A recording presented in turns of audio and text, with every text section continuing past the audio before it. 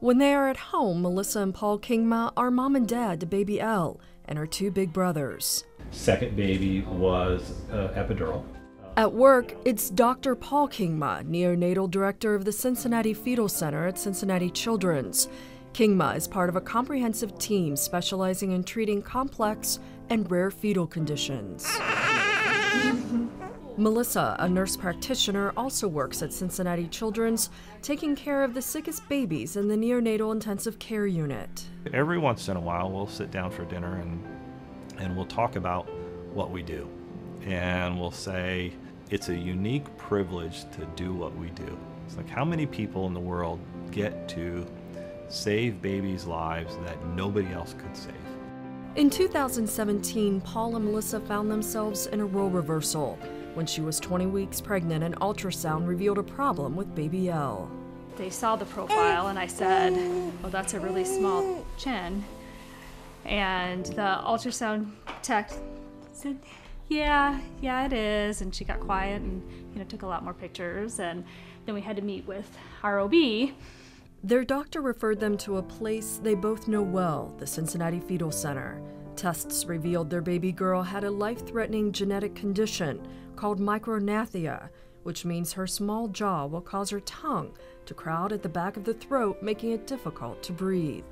To go over a delivery plan, the comprehensive team at the Fetal Center met with Dr. Kingma and his wife as a patient family.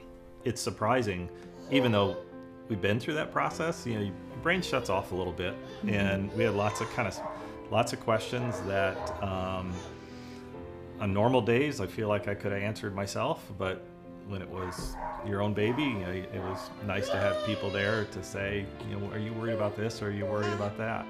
Together, the team came up with a plan to deliver Elle at Cincinnati Children's. On October 17, 2017, doctors performed a procedure with placenta support, allowing Melissa to avoid going under deep anesthesia. This also allowed her to hear what was happening around her, including her baby's first cry.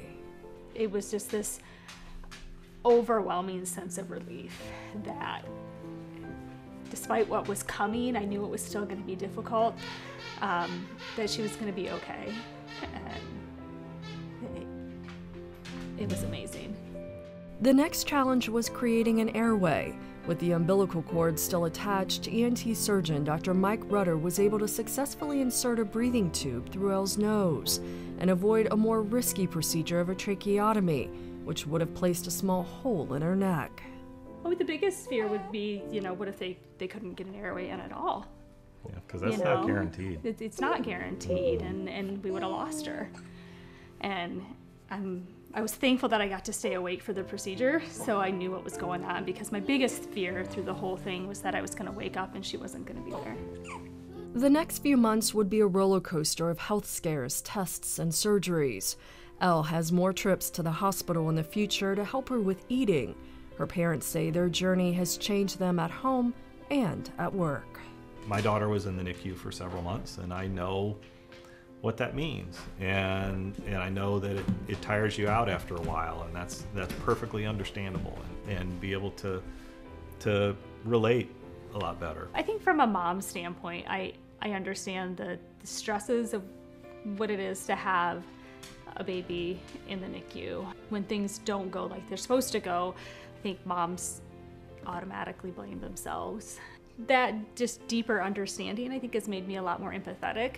And I approach the way that I talk to families differently now. It's definitely changed my perspective and, and how I'm able to relate to the families that we work with. Just the smallest little things, you know, can really make a big impact.